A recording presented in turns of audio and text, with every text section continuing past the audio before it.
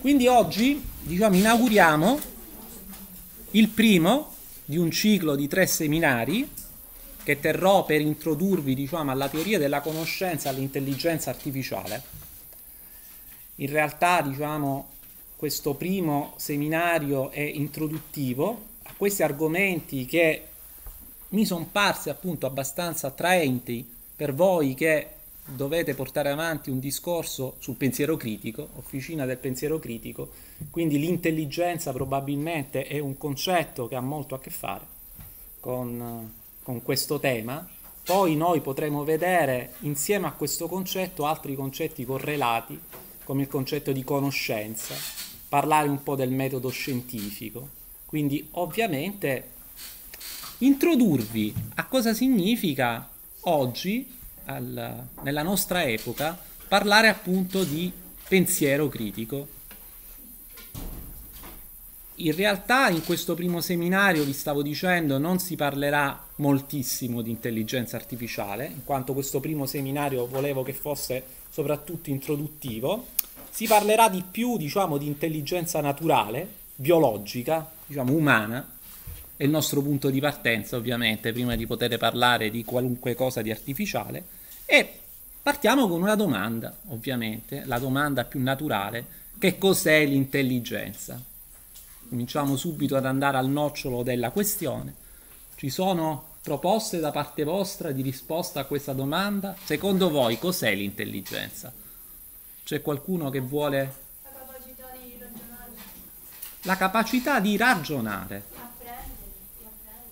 La capacità di ragionare di apprendere, altre proposte? La capacità di interiorizzare.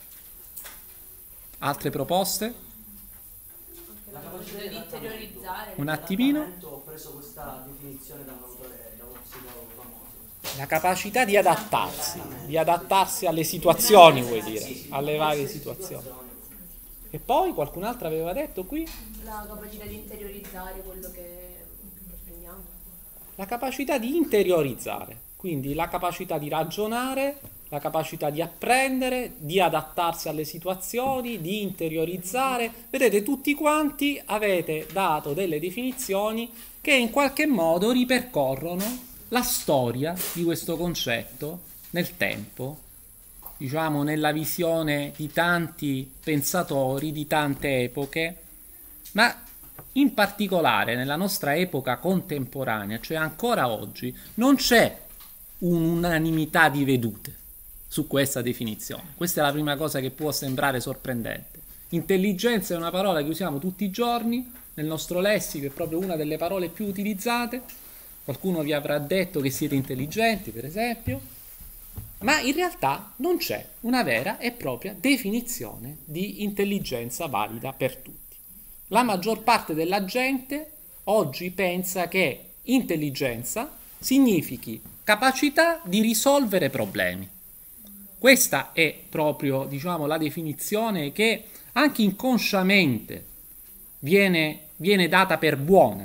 Sicuramente da questo punto di vista si pensa che una persona intelligente sia una persona che ha buone capacità di affrontare un problema magari nuovo, cioè che non ha mai visto prima. Quindi è intelligente perché si sa rapportare con qualche problema nuovo. Questo modo di vedere, vedete, è tipico di una società utilitaristica, cioè di una società che quindi soprattutto pensa all'utilità, a risolvere appunto problemi, dove quindi è considerato bravo chi è in grado di sapersi adattare, vedete, l'adattamento c'entra molto alle situazioni di difficoltà.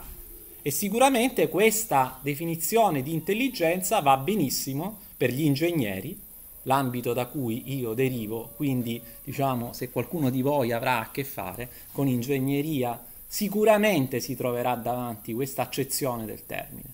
No? Siete dei bravi ingegneri, siete degli ingegneri intelligenti se sapete risolvere problemi. Eppure vedete, questa definizione non rispecchia neanche lontanamente proprio tutti i significati che questo termine ha rivestito per la cultura umana in ambito storico in questi ultimi 5.000 anni. Parlo appunto degli anni che consideriamo appartenere alla storia, no? dal 3000 a.C. fino ad oggi sono passati 5.000 anni. Parliamo di storia nell'ambito di questi 5.000 anni, c'è gente che ha scritto, che ha scritto libri, che ha parlato di intelligenza, ebbene non ne hanno parlato sicuramente solo così, come la capacità di risolvere problemi, assolutamente. La parola, proprio il termine intelligenza, deriva dal latino, deriva da intelligere, capire, è un verbo composto, composto dall'avverbio intus, quindi diciamo dentro, e dal verbo leggere, appunto leggere, leggere dentro, nel senso di raccogliere delle idee, delle informazioni su qualcosa e interiorizzarle. Vedete, anche chi ha detto che si tratta di interiorizzare qualcosa ci ha in qualche modo azzeccato. Quindi l'intelligenza è la capacità, secondo questa definizione, di comprendere la realtà non in maniera superficiale, ma andando, diciamo, oltre gli aspetti apparenti, cercando quindi di avere una conoscenza approfondita, diciamo così. In questo caso noi siamo già in grado di dire una cosa importante, no? Cioè che l'intelligenza è una capacità umana quindi si tratta di una capacità che si lega all'acquisizione di qualcosa, di un altro concetto di fondamentale importanza, la conoscenza. Quindi l'intelligenza è capacità di acquisire conoscenza. Quindi dobbiamo fare i conti con le parole, insomma, se vogliamo imbastire un discorso serio sull'intelligenza. Quindi dobbiamo porci un'altra domanda che io giro subito a voi. Cos'è la conoscenza con cui avete a che fare da quando avete iniziato a studiare, ma anche da prima? Cos'è la conoscenza secondo voi? Apprendere.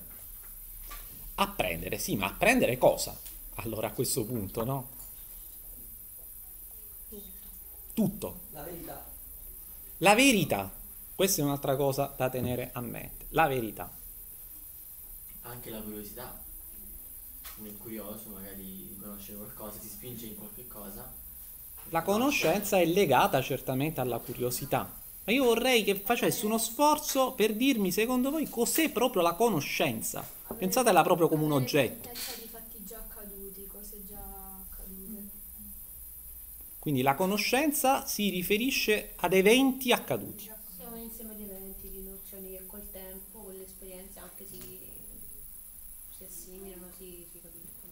nozioni. Questo è un accenno a qualcosa di importante. La conoscenza ha a che fare con le nozioni. E secondo voi cosa sono le nozioni?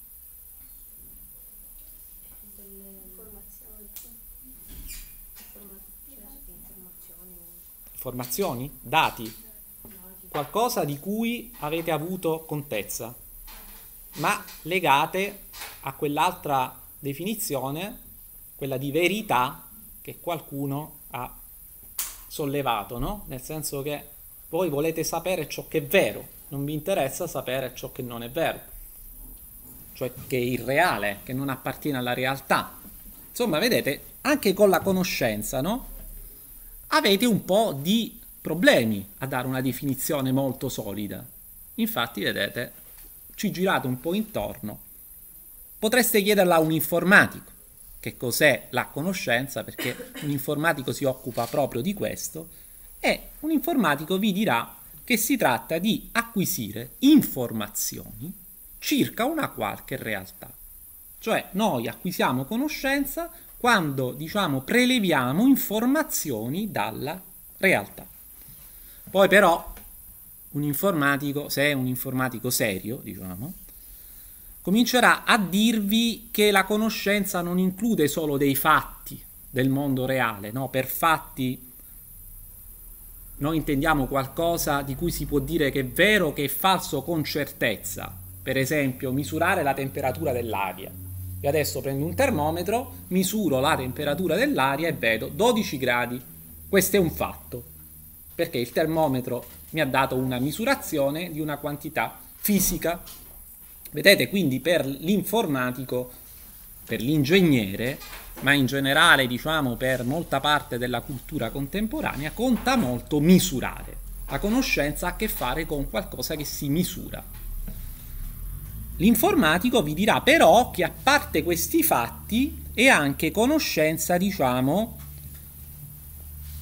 tutto ciò che è rappresentato da affermazioni che noi facciamo sulla realtà e che possono riguardare anche un insieme di eventi, una generalità di eventi, cioè affermazioni di tipo generale che non riguardano necessariamente un singolo fatto.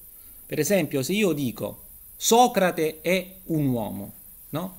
Questo è un fatto, perché io lo verifico, diciamo, visivamente, lo, vi- lo verifico, diciamo, sensorialmente.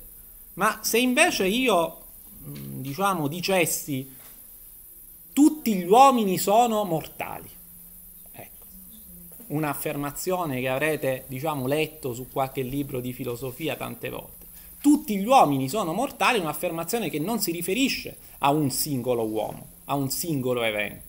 Si riferisce a una categoria, a un'intera categoria di eventi. Parla di tutti gli uomini, no? Allora, anche qui abbiamo comunque una affermazione, così come l'affermazione Socrate è un uomo, ma su cui diciamo abbiamo più difficoltà a dire se è vera o se è falsa. Socrate è un uomo, è un fatto, qualcosa che possiamo verificare puntualmente. Tutti gli uomini sono mortali, dovremmo verificarlo su tutti gli uomini che esistono, che sono esistiti, che esisteranno. Vedete, le affermazioni generali, come quella che ho appena fatto, segnatevela in qualche modo, è un buon esempio, tutti gli uomini sono mortali, sono utili. Sono utili perché, diciamo, possono essere combinate tra loro e fare in modo che da una conoscenza iniziale si sviluppi altra conoscenza. Per esempio, diciamo, io posso combinare l'affermazione tutti gli uomini sono mortali con l'affermazione Socrate è un uomo e andare a dire che Socrate è immortale. Immaginiamo di non averlo mai visto morire allora io semplicemente combinando due affermazioni sto facendo una previsione sul futuro, no? Sto dicendo Socrate poi alla fine morirà. Esattamente, sto diciamo introducendo quell'altra definizione che qualcuno dava di conoscenza, ragionamento, no? Cerchiamo di capire cosa vuol dire ragionamento. Innanzitutto, questo che abbiamo appena introdotto, cioè il combinare tra loro affermazioni affermazioni di tipo conoscitivo, fu introdotto da Aristotele e si chiama sillogismo, lo sapete, lo sapete bene, almeno è una forma, è una figura tra le tante figure del sillogismo. Diciamo subito che si tratta semplicemente di uno schema mentale. Non ha niente né di magico né di assolutamente vero, è solo un modo di concepire la realtà, di organizzare la realtà. Noi partiamo da premesse cioè da affermazioni che sono ritenute vere per qualche motivo, su questo ci torneremo, su questo concetto della verità delle premesse, poi le combiniamo e riteniamo che quello che viene fuori ragionando sia vero se le premesse sono vere. Perché siamo sicuri che quello che viene fuori è vero? Perché siamo sicuri che i sillogismi funzionano. Abbiamo fiducia nel funzionamento dei sillogismi. Questo modo di ragionare in realtà ha un nome più tecnico dal punto di vista filosofico, si chiama dialettica. È alla base del dialogo, cioè del procedere da cause ad effetti, da premesse a conclusioni, esattamente quello che voi fate e farete sempre studiando in qualunque ambito. Cioè voi farete dei ragionamenti in questa maniera partendo da premesse e sviluppando conclusioni, che potranno a loro volta diventare premesse di altri discorsi. E andrete avanti così a sviluppare conoscenza. La dialettica era conosciuta molto bene dai greci, dai greci antichi, dai greci dell'età di Socrate che abbiamo nominato prima, ma anche prima. La dialettica fu esaltata, diciamo, da filosofi importanti come Platone, come Aristotele, ma prima ancora di questi, anche i sofisti, per esempio, introducevano moltissimo il ragionamento dialettico, i sofisti, filosofi di cui avrete sentito parlare, Protagora, Gorgia, no? Loro la chiamavano dianoia. Dianoia, anche qui è un nome composto, sta per una combinazione tra dia e nus, cioè pensare attraverso. Loro la identificarono proprio col pensiero ragiona- razionale, cioè la utilizzavano come proprio sinonimo di ragionare, sì, diciamo così. È il modo di sviluppare conoscenza che ancora noi oggi utilizziamo della scienza, della matematica, della geometria. Pensate alla geometria euclidea. Geometria euclidea, quella che studiate proprio a scuola, fin diciamo dalle scuole medie, parte da un insieme di cinque semplici assiomi, cinque proposizioni che noi consideriamo vere per ipotesi, che riguardano in questo caso punti e rette, enti geometrici, e noi da questi cinque semplici assiomi possiamo provare qualunque teorema che riguardi la geometria. Per esempio possiamo provare il teorema di Pitagora, partendo soltanto da questi cinque assiomi, per via discorsiva, cioè ragionando logicamente, come nell'esempio che vi ho fatto prima. Ora, i greci erano molto attirati dalla dianoia, da questo modo di collegare tra loro proposizioni logiche. Perché? Perché ebbe così grande successo questo modo di ragionare? Ve l'ho anticipato prima, perché consente di fare previsioni sulla realtà. Come nel fatto, diciamo, nel discorso che prima vi ho introdotto riguardante Socrate, per cui andiamo a prevedere che Socrate è mortale senza averlo visto morire però quella magari vi può sembrare una situazione abbastanza banale. No? Vi propongo un altro esempio un po' più strutturato. Immaginate di essere dei greci, dei greci che stanno sulla riva del mare. All'epoca, quando si stava sulla riva del mare, era facile che arrivasse una nave, una nave a vela, e bisognava stare attenti a chi arrivava, perché a secondo di chi arrivava bisognava stabilire se ci si dovesse difendere o meno. Immaginiamo di avere delle conoscenze sulle navi che arrivano dal mare. Quindi, per esempio, immaginate, segnatevelo proprio come esempio, di avere una premessa, un assioma, chiamiamolo così, nel senso di una proposizione che riteniamo vera per ipotesi, immaginiamo di sapere per certo che le navi pirata hanno sempre la vela nera mentre le navi greche hanno sempre la vela rossa. E quelle fenicie possono avere la vela di qualunque colore. Immaginate che qualcuno vi abbia fornito questa conoscenza. Questa chiamiamola premessa numero uno al nostro discorso. Ora immaginate di avere anche una seconda premessa, sempre un'informazione che vi ha fornito qualcuno, di sapere che le navi pirata e le navi greche possono navigare sia lungo la costa sia a largo. Lungo la costa significa seguendo la costa, no? oppure a largo. Mentre le navi fenice navigano sempre a largo. Qualcuno vi ha detto anche questa seconda cosa, quindi seconda premessa.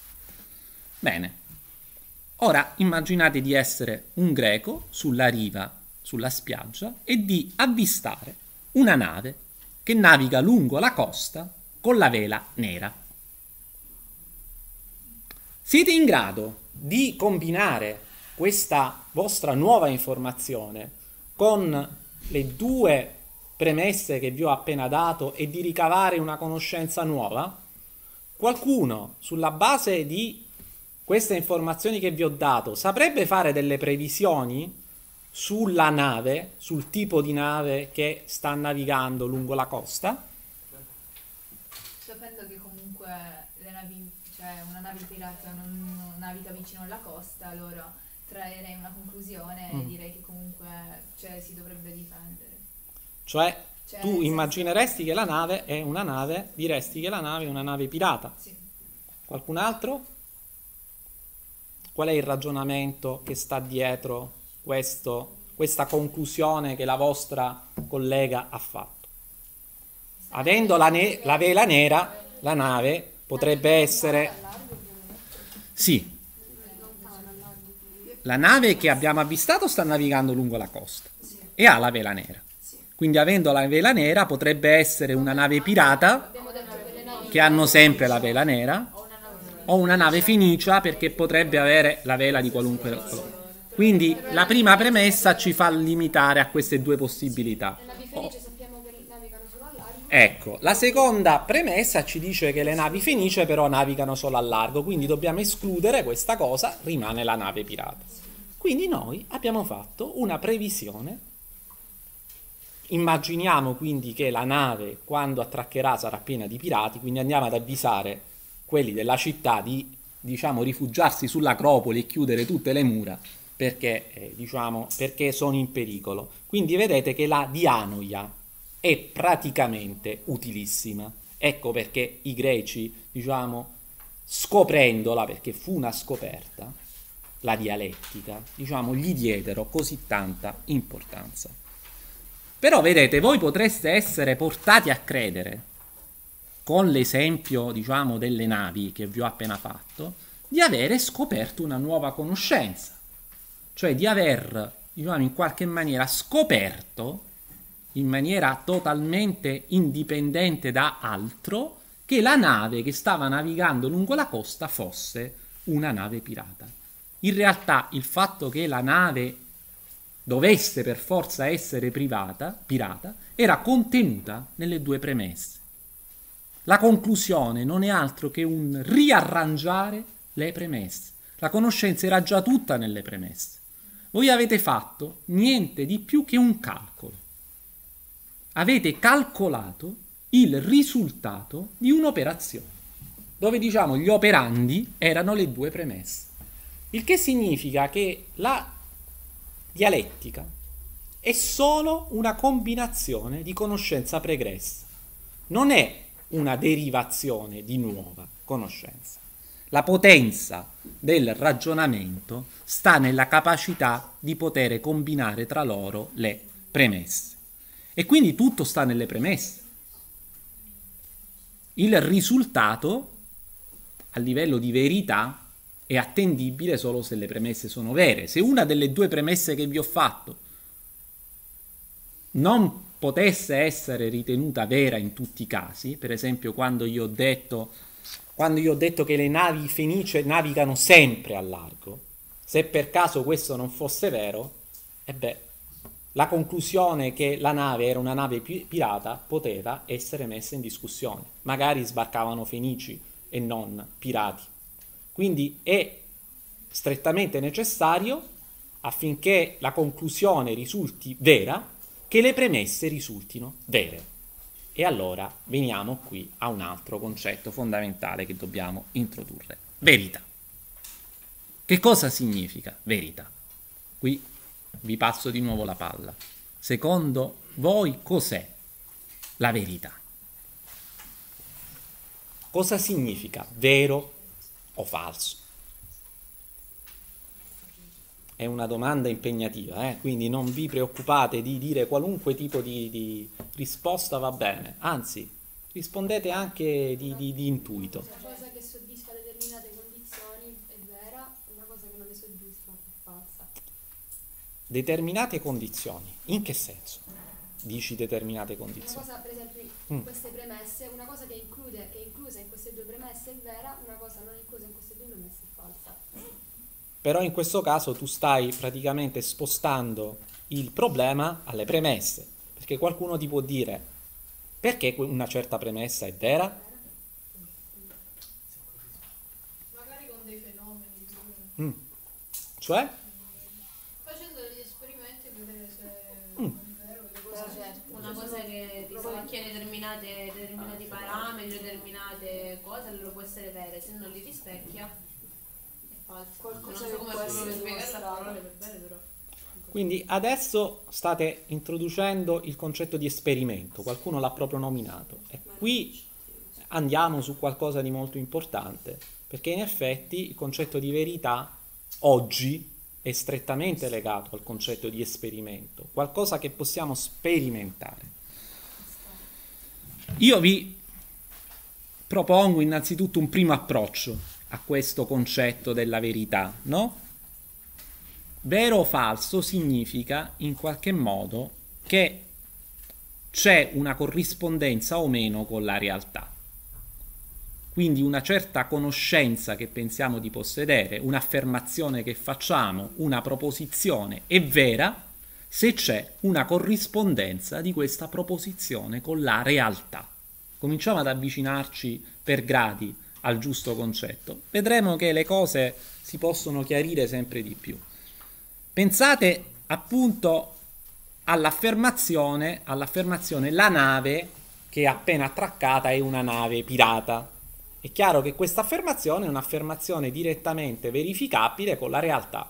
Se dalla nave scendono dei pirati, allora l'affermazione che quella è una nave pirata l'abbiamo no? verificata con un esperimento. L'esperimento altro non è che fare appunto esperienza di una qualche realtà. Sono scesi i pirati, la nostra affermazione che è una nave pirata è vera da questo punto di vista, falsa in caso contrario. Però abbiamo detto che ci sono affermazioni che riguardano una generalità di fatti, non un fatto solo. Per esempio, tutte le navi pirata hanno vela nera. Tutte. Come facciamo a dire che questa affermazione è vera? Possiamo anche qui fare un'esperienza. Arriva una nave, ha la vela nera, la facciamo, la facciamo, diciamo, attraccare e vediamo chi scende dalla nave. Scendono dei pirati. Possiamo dire che tutte le navi che hanno una vela nera... Eh. Ci dovrebbero andare vedere tutte le Eh. Quante? La percentuale Si raccolgono tante, tante, tante. Tante, tante. Ma possiamo esserne mai certi? No, Eh. no. Quindi già abbiamo messo in discussione proprio la possibilità no? di giungere a una verità definitiva. La verità definitiva non la possiamo proprio possedere. Allora ecco che il nostro concetto di verità, che abbiamo detto essere un concetto basato sull'esperienza, sull'esperimento, diventa un concetto anche limitato nell'esperienza. Nel senso che noi possiamo avvicinarci a un ideale di verità andando a fare tanti esperimenti e tanti, tanto più diciamo noi abbiamo esperienza, quindi più esperimenti riusciamo a fare di tipo positivo che ci confermano la nostra affermazione, allora tanto più noi possiamo essere convinti che la nostra affermazione sia vera, ma basta un solo esperimento negativo per convincerci che quella affermazione è sicuramente falsa. Quindi diciamo che noi dobbiamo intendere concetto di verità da questo punto di vista più con un collegamento al concetto di falsità che al concetto di verità assoluta. Non esiste una verità assoluta. Sembrerebbe da questo modo di ragionare che invece possiamo affermare in qualche modo una falsità assoluta. In prima istanza la diamo per buona questa cosa, questo modo di, di- di ragionare venne introdotto all'inizio del Novecento da un filosofo famoso, abbastanza famoso, che è Karl Popper appunto, e questo è il principio del falsificazionismo di, di Popper. In realtà questo principio è stato messo abbastanza in discussione. Nel Novecento c'è chi lo considera comunque un principio su cui si debba, si debba questionare abbastanza, però in realtà è il principio su cui effettivamente la scienza moderna si regge di più. I fisici, per esempio, i chimici, chiunque diciamo, faccia indagine sulla realtà dal punto di vista fisico, procede esattamente così. Si, per provare la verità di una certa affermazione si fanno esperimenti. E fin tanto che gli esperimenti non contraddicono l'affermazione, la teoria, allora noi crediamo in quella teoria. Crediamo nella bontà di quella teoria, ma non crediamo che quella teoria sia assolutamente vera, anche per i secoli futuri. Ok? Questo è molto importante.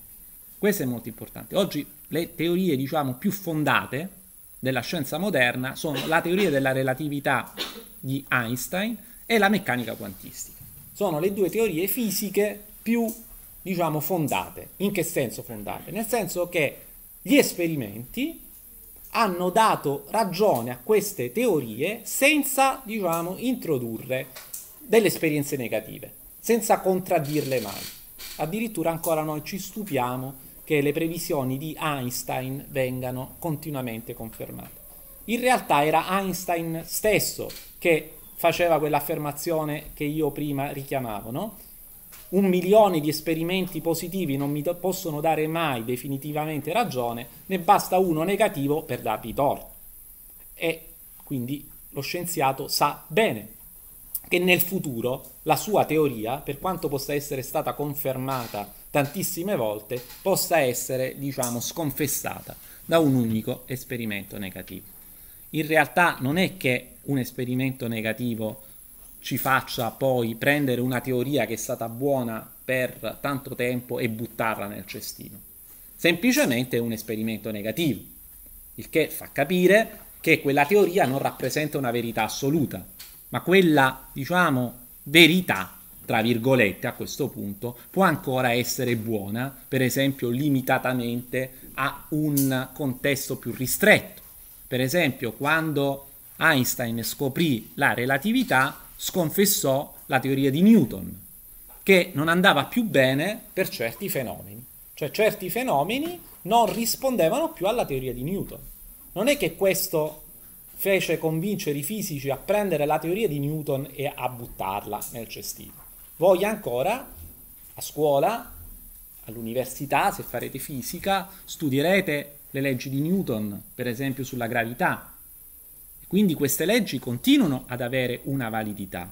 La loro validità rimane confinata però in un ambito limitato, cioè non, non è valida per tutto, ma così avviene anche per le teorie più moderne. Anche la relatività non può essere applicata a tutto, a un ambito, e anche la meccanica quantistica non può essere applicata a tutto.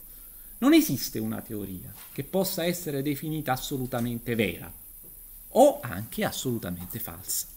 Quindi questo era un primo concetto su cui volevo un attimino farvi ragionare.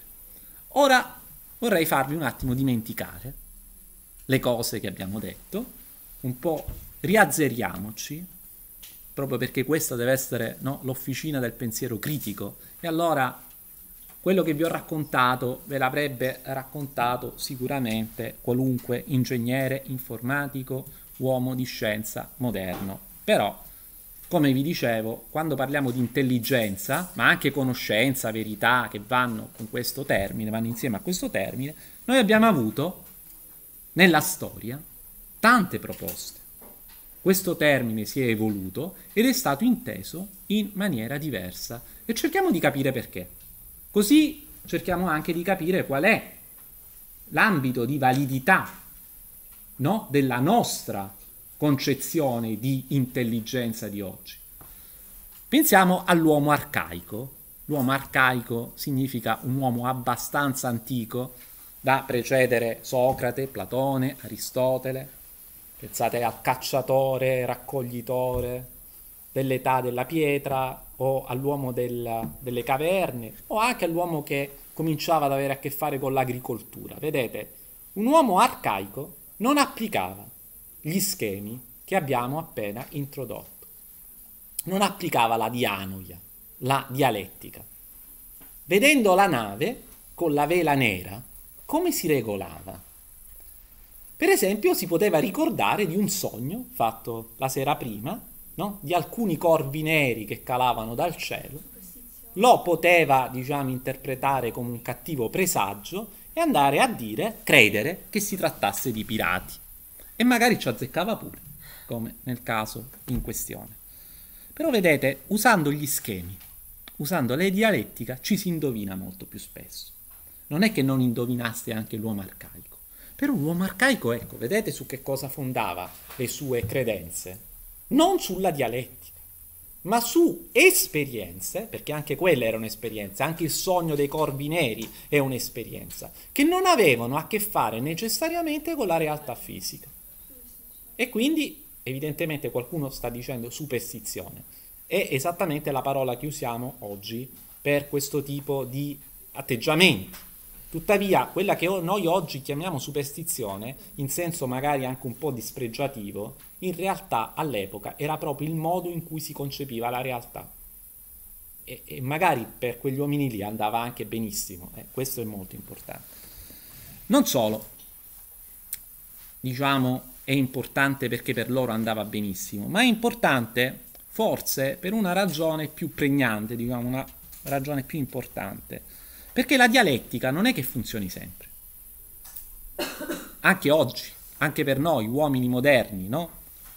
Ad esempio, immaginate di vedere un quadro, voi diciamo venite da un ambito artistico, no? Allora vedete un quadro, una statua, un palazzo, un elemento architettonico e qualcuno vi chiede se è bello. Vi ponete il problema se sia bello. Riuscite con qualche ragionamento logico a dedurre in qualche modo la bellezza di questo elemento? Diciamo E che quindi- è ah. un'interpretazione proprio, perché alla fine ogni persona rispetto magari alle sue esperienze di vita riesce a interpretare un fatto con una visione diversa magari da ciò che può interpretare l'altro. C'è anche l'istinto, comunque. State già introducendo altra carne al fuoco interessante, perché appunto tu hai introdotto il discorso della soggettività e quindi cominci però a portare in campo un elemento che non è più uguale per tutti, come nel campo della più una della dialettica. Ecco. E quindi il concetto di verità comincia a diventare verità individuale no? E poi appunto non possiamo essere, non riusciamo più a ragionare in maniera generale.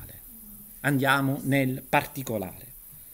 Possiamo avere dei fenomeni, tra l'altro, che sono così complessi, così difficili da governare, anche senza necessariamente essere soggettivi, che applicare la logica è impossibile. Impossibile proprio per la complessità del fenomeno stesso. Non potete, per esempio, applicare la logica ai sentimenti. Come fareste a applicare la logica a un sentimento?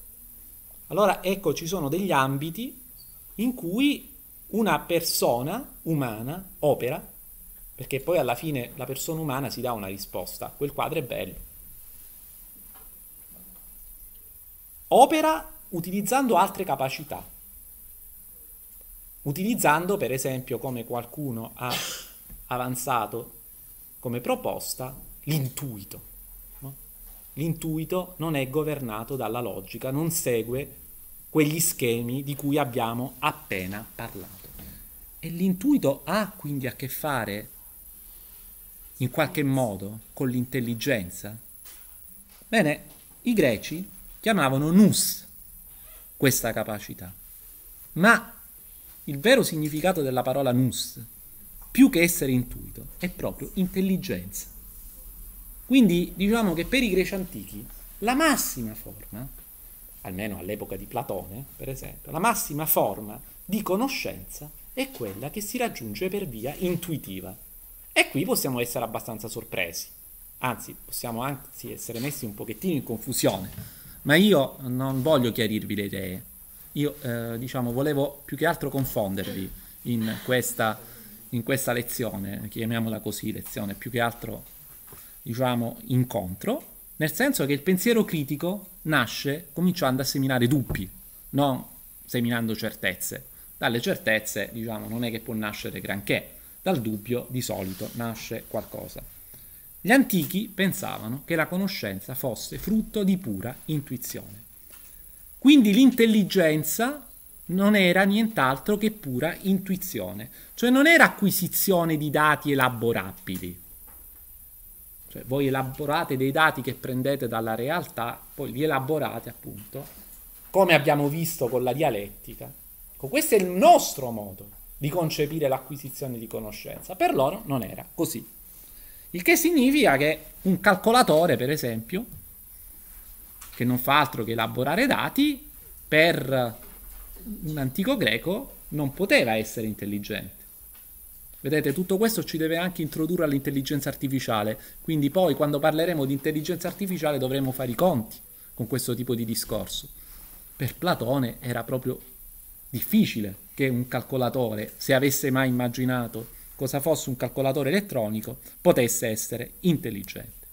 Perché quel concetto di intelligenza che loro portavano avanti aveva a che fare non col capire, capire anche per assonanza è un verbo molto vicino al verbo carpire, cioè acquisire, prendere dalla realtà qualcosa e averlo dentro. Questo è il nostro concetto di conoscenza oggi. Qualcuno prima aveva parlato di nozioni, no?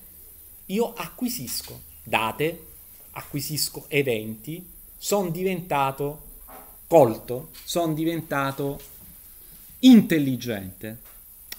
Per Platone questa sarebbe stata una sciocchezza. Io ho solo acquisito nozioni. Le nozioni non sono intelligenza. Le nozioni sono appunto dei dati che possono essere eventualmente elaborati. Invece comprensione aveva un altro significato. Comprensione, comprendo, abbraccio, cioè io sto dentro la natura, sono immerso dentro una realtà e capisco questa realtà come la capisco immediatamente. Cioè, l'idea di Platone è quando io so qualcosa, la so perché la so. Cioè ne intuisco l'intima verità e nessuno mi deve andare a fornire dei dati per capirla. La capisco io, punto. E non è neanche una verità soggettiva, ma la presunzione, diciamo così, che aveva Platone è che questa verità se uno è preparato a comprendere la verità, fosse davvero la verità, cioè la verità per tutti, ok?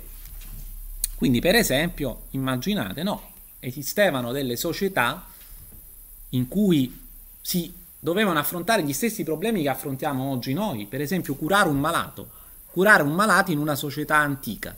Immaginate una società sciamanica, una società in cui quando uno si ammalava si andava dalla guida della tribù, lo sciamano, l'uomo medicina, che era in grado appunto di curare, come curava, non certamente come fa un medico oggi, cioè andando ad acquisire dei dati sulla persona, andando a fare le analisi del sangue, andando a elaborare le analisi al computer, facendo un intervento chirurgico, magari con la microchirurgia e con i robot.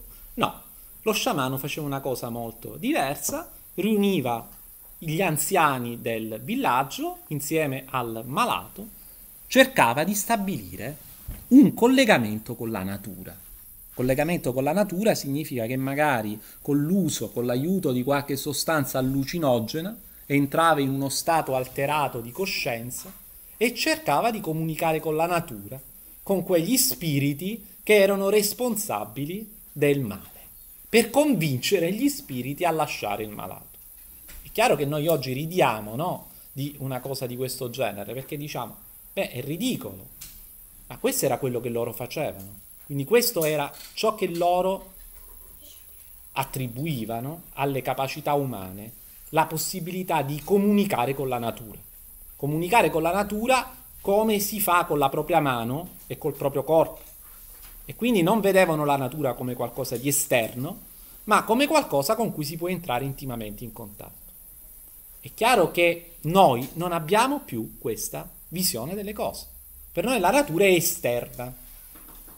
Io qui non esprimo, diciamo, nessun tipo di, di, di preferenza per un sistema o per l'altro. Vedete voi, diciamo, di fare le vostre considerazioni, ma comunque le cose stanno così. Noi oggi, per poter indagare la natura, la dobbiamo considerare esterna. È qualcosa esterna a noi, quindi dobbiamo raccogliere dei dati. Ok? E quindi diciamo la conoscenza è una conoscenza dialettica, non una conoscenza intuitiva. La malattia per gli antichi, per esempio, era la rottura di un equilibrio. Quindi uno stava male perché aveva rotto l'equilibrio naturale, non perché c'era una causa da cui discendeva in maniera logica, per esempio la malattia, nel senso un virus o un batterio che aveva provocato il malanno stesso, ma perché appunto l'equilibrio naturale era stato rotto. Per questo diciamo la conoscenza era una conoscenza naturale, veniva denominata conoscenza naturale. Per esempio, nell'antica Cina del VI secolo a.C., al tempo del saggio Lao Tse, la visione della conoscenza nel mondo era denominata Tao. Il Tao era, altro non era che una visione di una natura in equilibrio, per cui uno poteva seguire la strada dell'equilibrio della natura, cioè procedere in accordo con la natura, e allora stava bene, oppure andare per altre strade, e se andava per altre strade stava male. Quindi diciamo che noi nelle culture antiche abbiamo delle visioni veramente, diciamo, molto diverse dalla visione moderna di conoscenza. Poi vennero i pensatori greci, intorno al VI secolo a.C., quello che denominiamo periodo assiale dell'umanità, c'è stato un filosofo, Jaspers, che lo ha denominato così perché nel VI secolo abbiamo avuto un'esplosione di pensatori in varie parti del mondo, Confucio, Lao Tse, Zarathustra. In Grecia abbiamo avuto tanti pensatori che hanno, diciamo, sviluppato una visione diversa della natura, molto collegata alla dialettica che vi ho introdotto prima. Faccio alcuni nomi, Talete, Anassimandro, Anassimene, li avrete sicuramente sentiti, ma non solo questi. Gli studiosi della fusis, gli studiosi della natura, appunto, qui intesa come natura fisica, non come natura come la intendeva lo sciamano, che la intendeva in un senso profondamente spirituale, ma come natura appunto vista come qualcosa di esterno dal soggetto che la analizza, per cui il soggetto può andare ad analizzare qualcosa di esterno. E si posero una domanda fondamentale. La domanda fondamentale è qual è la causa fisica dei fenomeni fisici? Ecco, vedete, questo fu un principio di rivoluzione nel modo di ragionare, perché la domanda non era più se è in equilibrio o no con la natura. La domanda è qual è la causa fisica? Quindi l'idea che ci fosse una causa fisica al fenomeno fisico. Cerchiamo la causa fisica. Un filosofo da questo punto di vista importantissimo fu Democrito. Democrito ipotizzò che la materia, e quindi come vedete si interessava della, della natura fisica, fosse composta da particelle indivisibili, particelle elementari indivisibili, quindi atomi non divisibili. Quindi ipotizzò che tutto ciò che succede nella realtà, tutti gli eventi a cui assistiamo, fossero una conseguenza di come gli atomi si muovono, di come gli atomi interagiscono, no? di come gli atomi, per esempio, si scontrano. Quindi se io ho un bicchiere in mano e lo lascio andare, quello cade e va in pezzi a terra perché i suoi atomi sono attirati dalla terra e perché gli atomi si scontrano con gli atomi del pavimento. Quindi c'è una causa fisica per l'evento che abbiamo appena considerato. Oggi noi abbiamo le stesse convinzioni di Democrito. Sono passati, diciamo, 2300 anni da allora, ma le convinzioni sono rimaste essenzialmente le stesse. Noi pensiamo che la materia sia formata da particelle elementari, un certo numero, sono 12, però le più importanti particelle elementari sono quelle che compongono il nucleo degli atomi, i quark, che compongono, diciamo, sono tre i quark, abbiamo tre mattoncini fondamentali della materia, combinandosi in maniera diversa formano i protoni e i neutroni che stanno nel nucleo dell'atomo. Quindi queste sono le tre particelle fondamentali. Poi c'è l'elettrone, un'altra particella indivisibile che come sapete, diciamo, ruota, diciamo così, attorno al nucleo dell'atomo, visto come un piccolo sistema solare. Queste quattro particelle, i tre quark e l'elettrone, sono le particelle, diciamo, eh, indivisibili fondamentali, sono i nostri atomi. Diciamo. Quello che chiamiamo atomo in realtà non è più l'atomo indivisibile di Democrito, l'abbiamo spezzato. In realtà ci sono tante altre particelle, vi dicevo 12 in tutto, indivisibili, addirittura persino le forze della natura. Noi pensiamo che siano veicolate da particelle.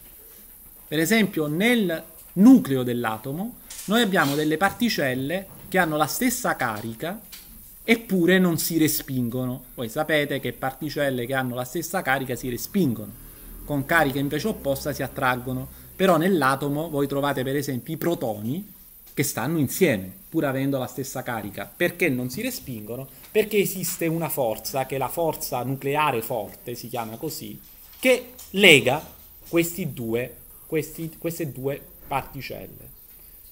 La forza nucleare forte è veicolata da una particella elementare che si chiama gluone. Quindi pure le forze sono, diciamo, veicolate da particelle. Quindi per noi la materia è non è altro che una combinazione di particelle elementari.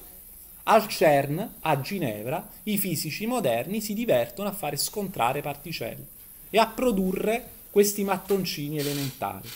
Per esempio il bosone di Higgs, di cui avrete sentito parlare tanto in questi ultimi anni, è una di queste particelle elementari. È la particella che è causa della massa delle altre particelle. Quindi noi abbiamo un fenomeno fisico, la massa delle particelle, tutte le particelle hanno una massa, tranne diciamo pochi, poche eccezioni, per esempio il protone ha una massa, ecco la causa, vedete, di questa massa è un'altra particella. Quindi vedete come il nostro modo di vedere la natura oggi è strettamente vincolato alla dialettica, causa-effetto particella con massa perché esiste un'altra particella che gli dà massa. Il bosone di Higgs è proprio una particella che dà massa. Vedete? Questo è il modo con cui noi inferiamo conoscenza. Questa è la scienza. La scienza è ciò con cui voi dovete fare i conti oggi. Quindi se vi iscrivete a qualche se vi iscriverete a qualche facoltà scientifica, sentirete parlare di scienza, di metodo scientifico, di ricercatori che indagano scientificamente. Bene, la scienza ha a che fare con questo modo di procedere.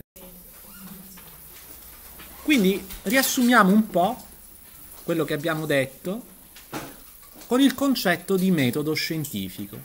Se avrete a che fare con la scienza nel vostro futuro, potrete diciamo riassumere un po' le cose che abbiamo visto, utilizzarle, sintetizzandole con il concetto di metodo scientifico. Cos'è il metodo scientifico? Vi siete sicuramente abituati diciamo, a recuperare le vostre informazioni da internet, magari andate spesso su Wikipedia, hm?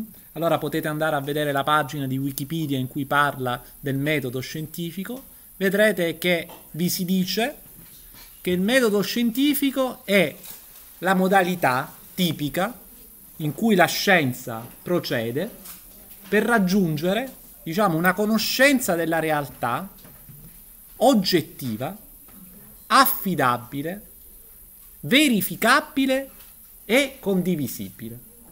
Potete andare su Wikipedia e vedere che questa è la definizione.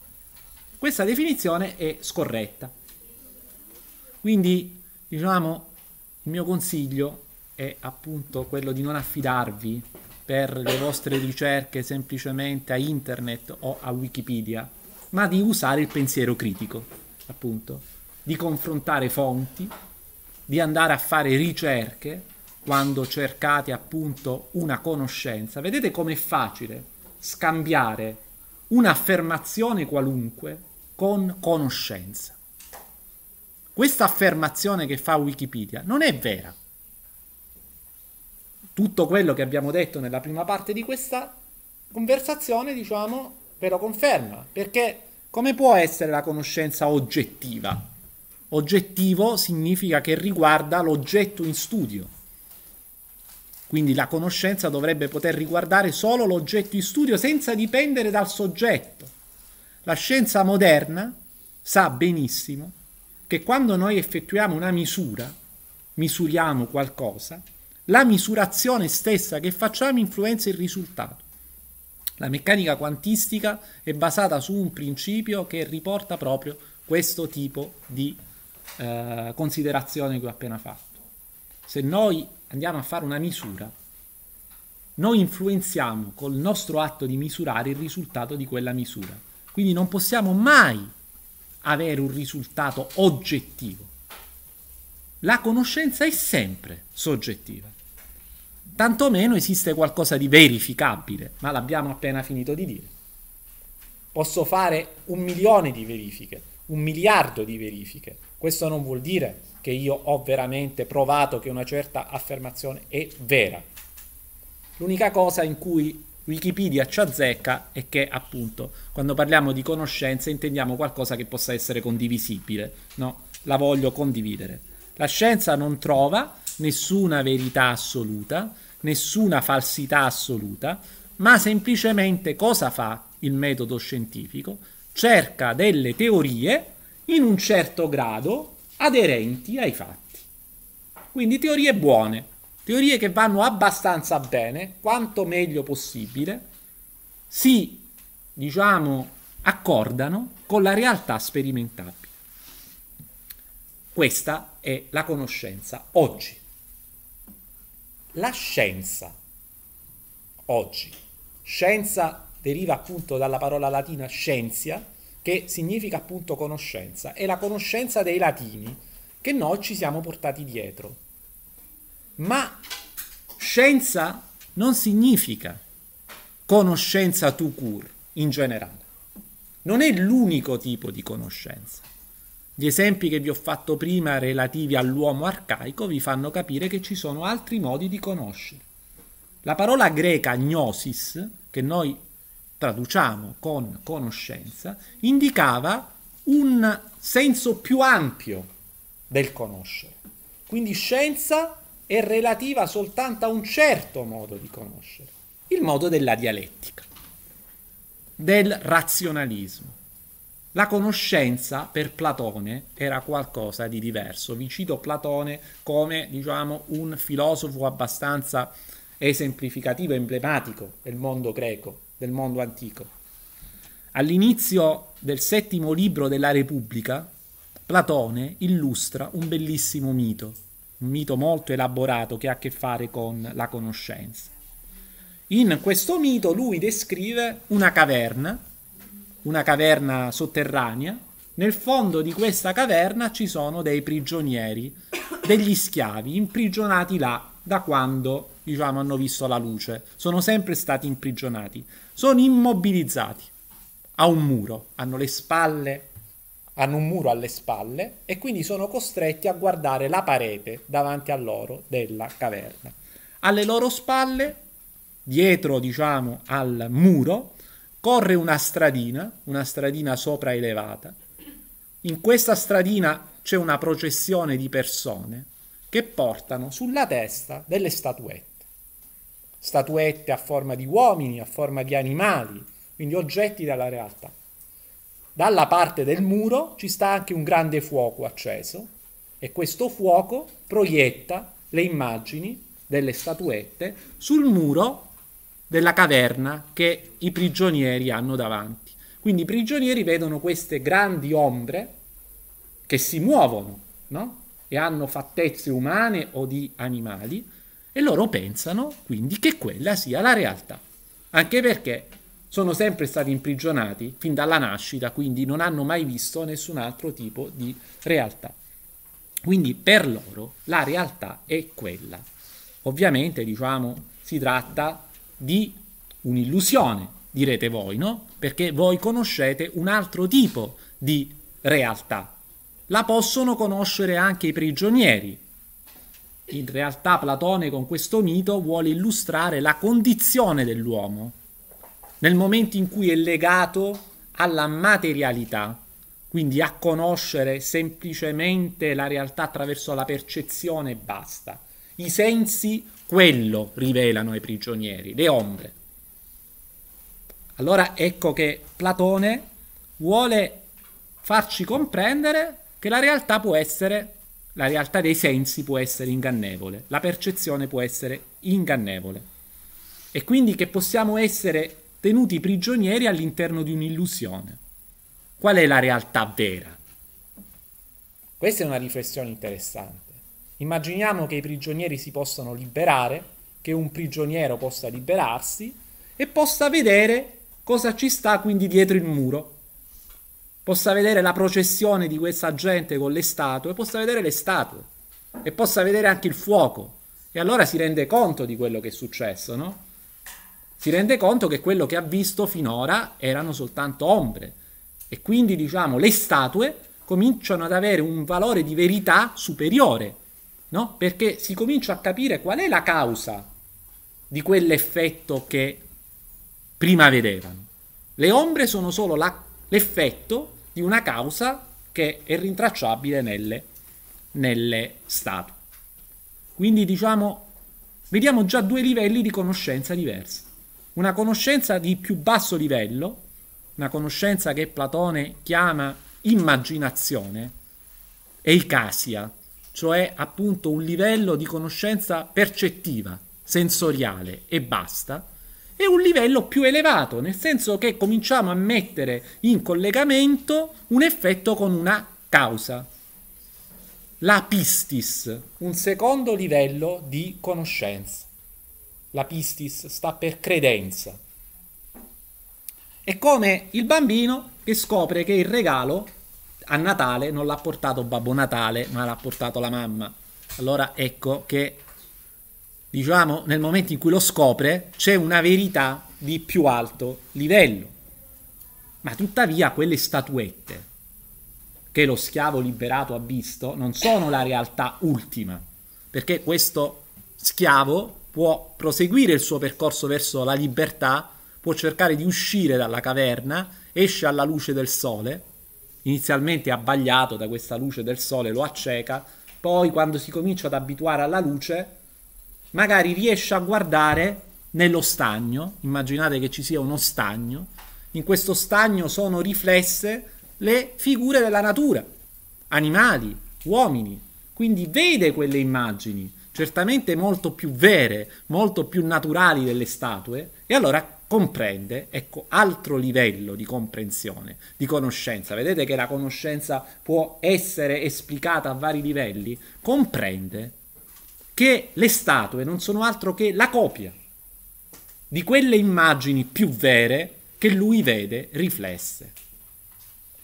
Questa, questo terzo livello di conoscenza è proprio la dianoia, cioè quel livello in cui cominciamo a astrarci nella nostra comprensione della realtà, cominciamo a vedere cose sempre più vere, Platone con questo livello, quello delle immagini riflesse nel, nello stagno, vuole farci pensare agli oggetti della matematica, vuole farci pensare proprio alla dialettica, alla logica.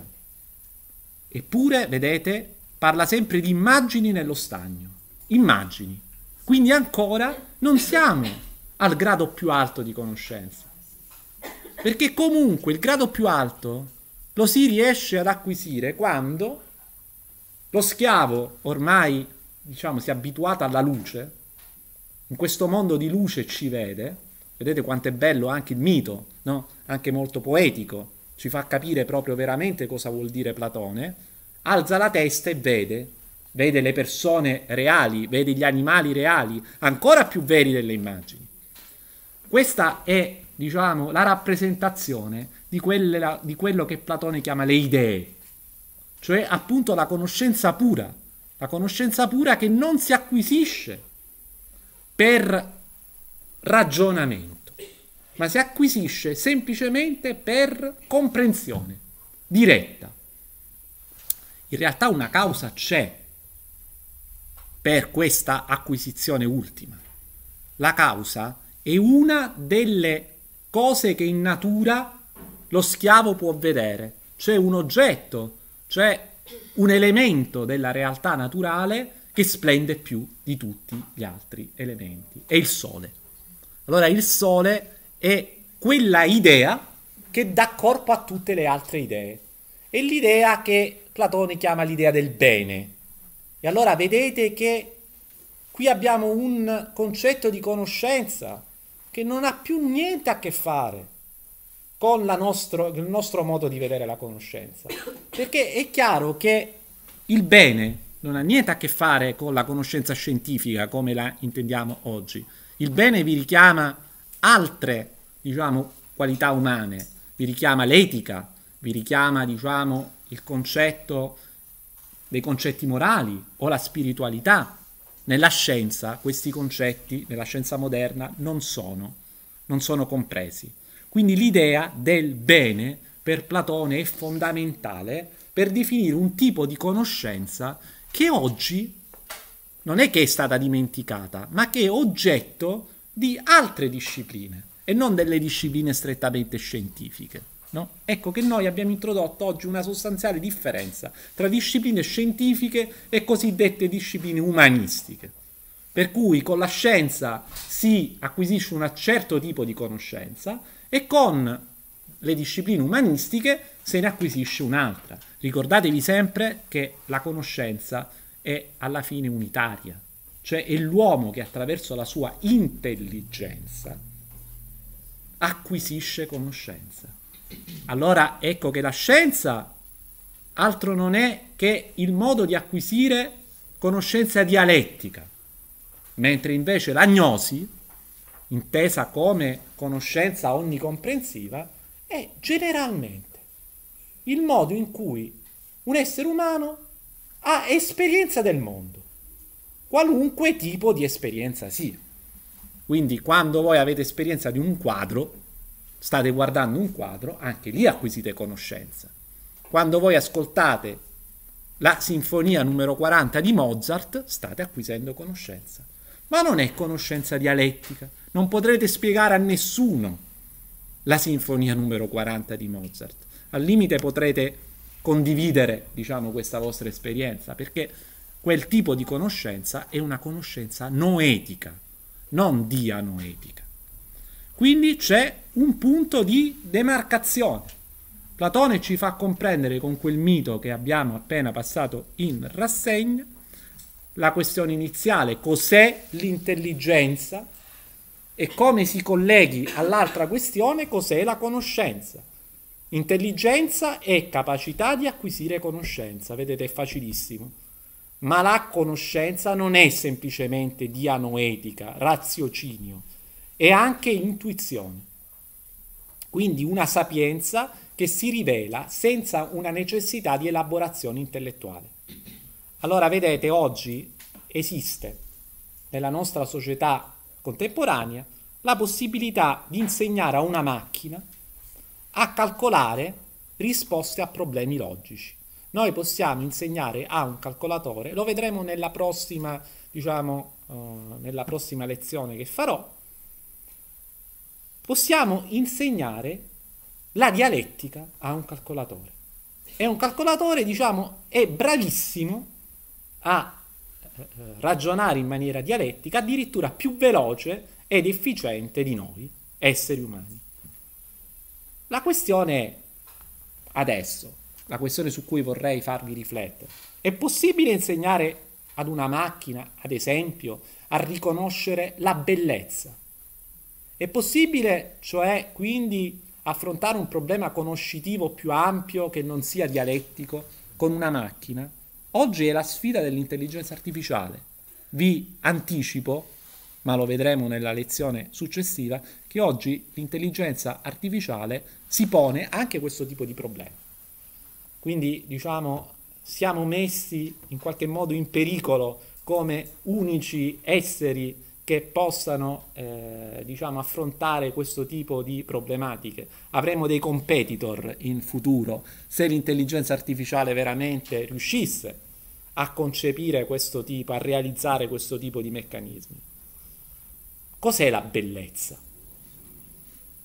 Per ragionare su questo nuovo tipo di conoscenza, voi l'altra volta avete fatto una lezione sull'estetica, quindi in qualche modo ci, ci riagganciamo mi pare che una domanda che vi è stata fatta è cosa sia l'estetica, ha molto a che fare con il concetto di bellezza. Eh, Dostoevsky in un celebre romanzo, nell'Idiota, si rivolgeva, diciamo, faceva dire a un suo personaggio la famosa frase la bellezza salverà il mondo. Quindi parlava evidentemente di qualche cosa importantissimo, addirittura al punto tale che dovrebbe salvare il mondo. Bello è un iperonimo, non è una parolaccia. Eh, Iperonimo sta a significare, diciamo che è un significato più ampio che ne abbraccia tanti più ristretti, no? Noi possiamo dire che una cosa è attraente per dire per significare un certo tipo di bellezza, oppure armoniosa, per esempio una bella piazza, oppure possiamo dire una bella notizia per dire che una cosa è lieta, oppure ancora una bella risposta che mi date a una domanda che vi faccio per dire che è efficace. No? Vedete, bello può voler dire tante cose, però qual è il minimo comune denominatore di tutti questi significati? No? Soprattutto nel nostro tempo, al tempo moderno. Ciò che è bello, no? secondo noi, deve essere sempre qualcosa che ci piace.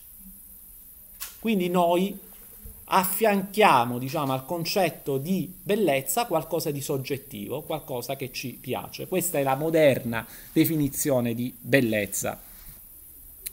Però, appunto, essendo soggettivo, voi capite che ci allontaniamo molto da quei tipi di conoscenza di cui abbiamo parlato prima, che avevano la pretesa in qualche modo, secondo Wikipedia, addirittura di diventare oggettivi.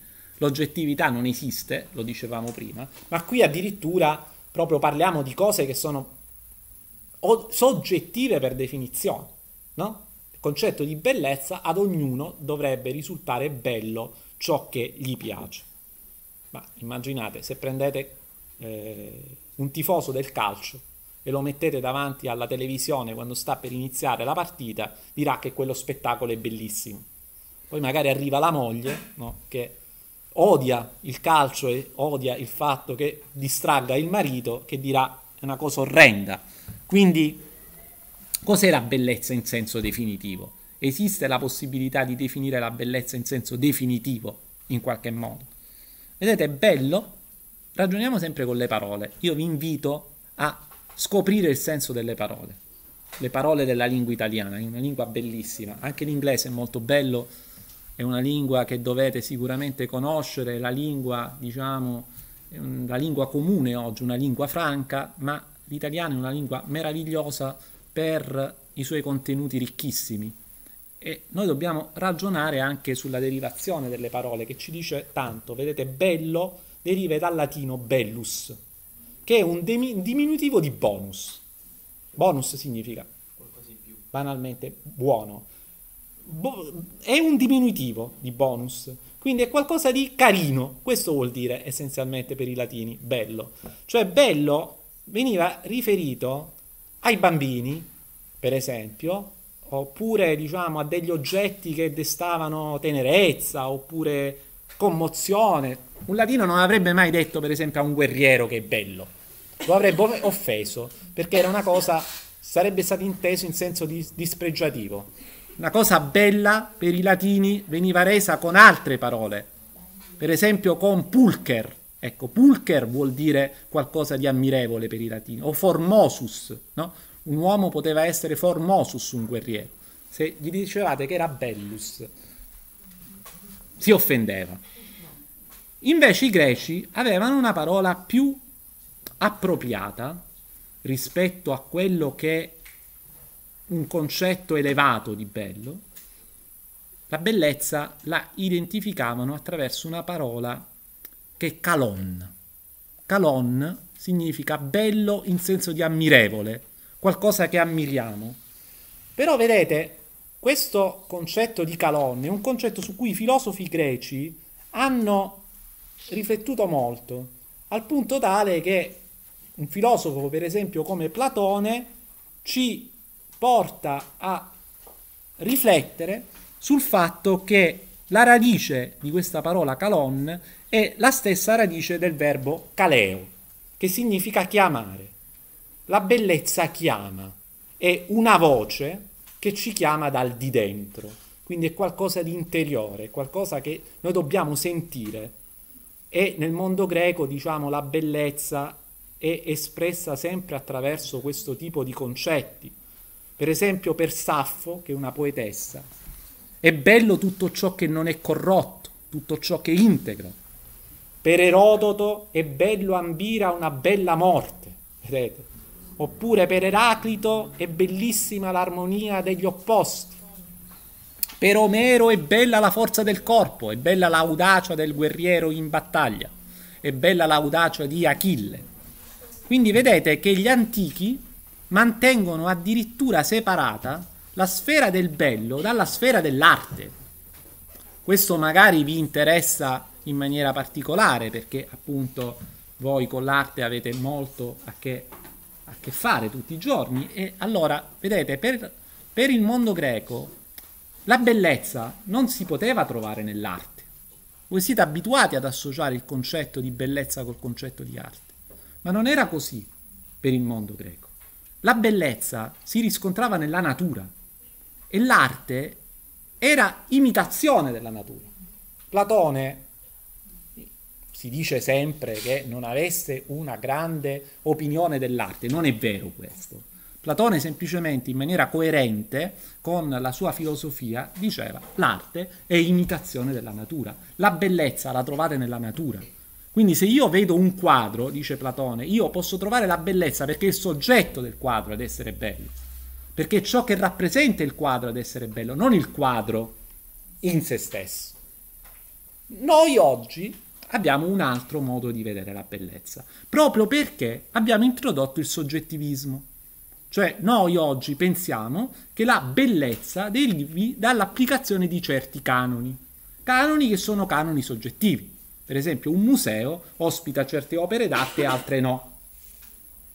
Sotto quali, diciamo, eh, sotto quali indicazioni, sotto quali ehm, diciamo, eh, sotto quali considerazioni si fanno queste scelte di bontà. Evidentemente so, sotto scelte di tipo soggettivo, al punto tale che oggi si dice bisogna educare al gusto, perché il gusto appunto è la capacità, dovrebbe essere la capacità personale di riconoscere il bello, e allora noi dovremmo educare il gusto.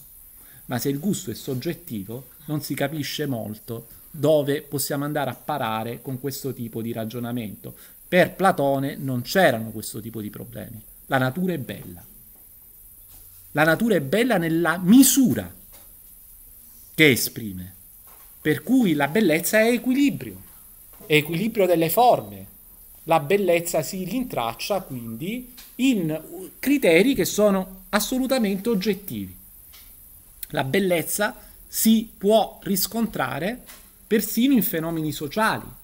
Per Platone è normale dire una bella legislazione, perché è equilibrata e perché consente a una società di evolversi in maniera efficace. Il concetto di bello, per Platone, è legato al concetto di buono. Infatti, i due concetti sono, nella visione greca di bellezza, assolutamente collegati kalos kai agatos. Senza la bontà, agatos, non ci può essere vera bellezza. Quindi questo concetto è un concetto che valeva sicuramente all'epoca per bellezza e non aveva molto a che vedere con il mondo dei sensi. Allora, quando è che entra in gioco il mondo dei sensi? Fino al Cinquecento, vedete, fino al Rinascimento, questo concetto di bellezza come qualcosa che viene da una misura, da un equilibrio, qualcosa quindi di oggettivo, era perfettamente noto.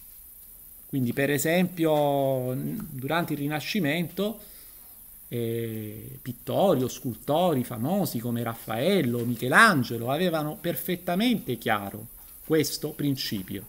Dal barocco in poi si cominciò a introdurre un criterio più soggettivo della percezione del bello, per cui non è importante che quello che abbiamo davanti sia armonioso o debba rispondere a qualche concetto di bontà. Ma se il nostro gusto ci dice che quella cosa è bella, allora noi possiamo dire che siccome i nostri sensi ce lo comunicano, allora quella cosa è bella. Ecco perché entra in gioco quella che viene chiamata aistesis, l'estetica, no? Aistesis ha a che fare con i sensi. Dal Settecento in poi, da Baumgarten soprattutto, si comincia a mettere molta enfasi su questo concetto di bellezza soggettiva. Per Platone sarebbe stato assurdo pensare che la bellezza si possa misurare, si possa cogliere con un sensore. No? Oggi noi ci poniamo il problema se si possa in qualche maniera cogliere la bellezza con dei sensori. È un problema che l'intelligenza artificiale, per esempio, deve affrontare. No? Si può insegnare a un calcolatore a concepire il concetto di bello, si può insegnare a un calcolatore a concepire il concetto di buono. Questo equivale a porsi il problema, si può insegnare a un calcolatore ad essere cosciente, ad avere un'immagine di sé come fa un essere umano? Questi problemi, diciamo, li affronteremo, come vi dicevo, la prossima volta, nel, nella prossima lezione. Alla fine, il punto fondamentale, vedete, per parlare di intelligenza artificiale, occorre arrivare a questo punto fondamentale di demarcazione. C'è la possibilità di definire un bello artificiale? Perché vedete, solo una macchina che possa cogliere il bello, oppure in maniera parallela il buono, fare, diciamo, farsi delle idee sulla verità delle cose, potrebbe davvero proporsi come intelligenza artificiale. Fino a quando parliamo di risolvere problemi dialettici, del tipo quello della, della vela nera della barca, noi non ci stiamo spingendo realmente nell'ambito dell'intelligenza artificiale. Ci stiamo spingendo, stiamo sviluppando semplicemente la teoria dei calcolatori, cioè macchine che sono in grado di fare calcoli. Così come fanno somme, fanno prodotti, possono anche risolvere problemi logici di tipo dialettico. Ma non ha niente a che vedere questo modo di procedere con l'intelligenza. Noi quando possiamo parlare di intelligenza? Quando possiamo parlare veramente di un ente, di un ente, noi pensiamo subito a, a noi stessi, di un essere umano, no? che sia in grado di affrontare problematiche come la bellezza. Oppure lo vedremo la prossima volta anche come la coscienza.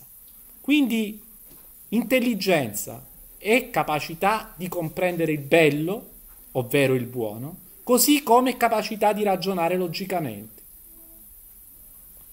E anche capacità di associare forme tra di loro, per esempio accostare due colori, scegliere la cravatta giusta per, la stessa, per una giacca, per esempio. No? È una capacità che esprime intelligenza. Intelligenza è capacità di comunicare, intelligenza è capacità di amare, è qualcosa che solo l'uomo finora ha saputo esprimere è una forma di creatività. Quindi l'intelligenza è un'arte, è proprio anzi la più umana delle arti. Ecco perché se ci chiediamo con l'intelligenza artificiale se l'intelligenza possa essere espressa da una macchina, noi ci stiamo facendo una domanda molto complicata. È possibile che una macchina diventi un artista? Questa è la domanda che ci stiamo facendo. Perché una macchina per diventare davvero intelligente dovrebbe essere in grado di esprimere arte. E diciamo la conclusione del nostro discorso sta tutta in questa domanda che io vi lascio per vostra riflessione. Vi lascio, concludo questa lezione lasciandovi con questa domanda e con le riflessioni che potete fare su questa domanda.